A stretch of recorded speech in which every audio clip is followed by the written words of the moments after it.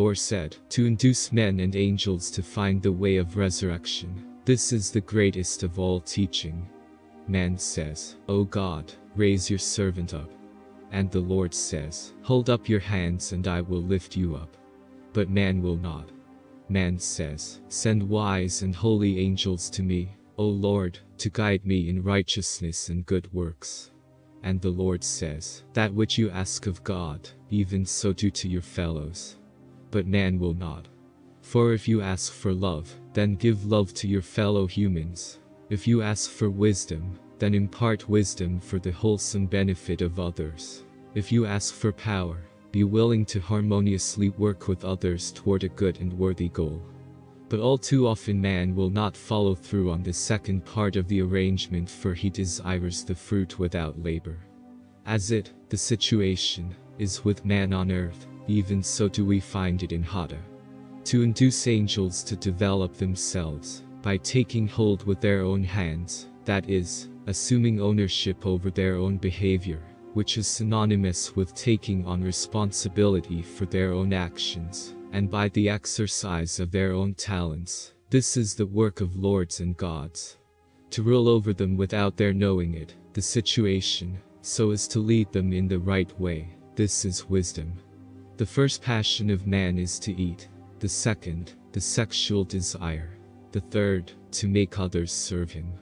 And if he accomplishes the latter, then he is indeed the prince of evil. For he then holds dominion to the hurt, to the damage, of others. As man builds these habitations in his soul on earth, how vain becomes his effort for happiness in heaven. To teach him to undo all his past, and to make full restitution to others. This is the work of gods and lords over spirits of darkness. Thor established 2,000 educational colonies in Atmospheria, besides innumerable places of manufacturing and building, teaching the angels of heaven how to provide habitations for those born of earth into spirit life. In three years of dawn, Thor had prepared four billion brides and bridegrooms for Etherian ascension. Now all this time, the angels of Atmospheria had been taught much in regard to the emancipated kingdoms in Etheria, and of the splendor, majesty and power of gods and goddesses living there. Thor spoke from the throne of God, before the holy council, saying, Send swift messengers with greetings to Betatis, goddess of Tarot, in Etheria, and say to her, Thus says Thor, Jahavi's son, Orian chief of Donga, Come to the heavens of the earth. I have four billion brides and bridegrooms as Jahavi's harvest.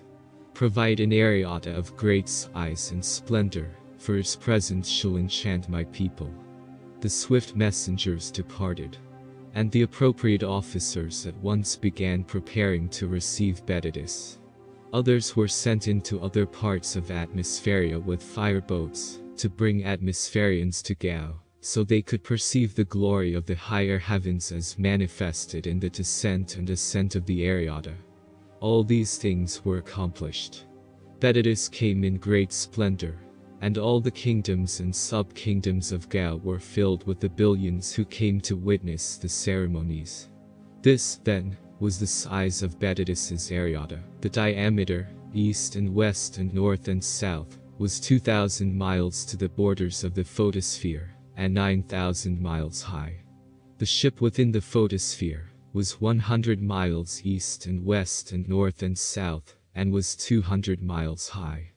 Of beams the entire length, there were 12,400,000, and of uprights, 2 million. But of the short beams and short uprights, they were numerous accordingly. And there were a sufficient number of chambers within the Ariata for every soul to have one. And, besides these, there were halls and temples within, also suitable for music and other entertainments.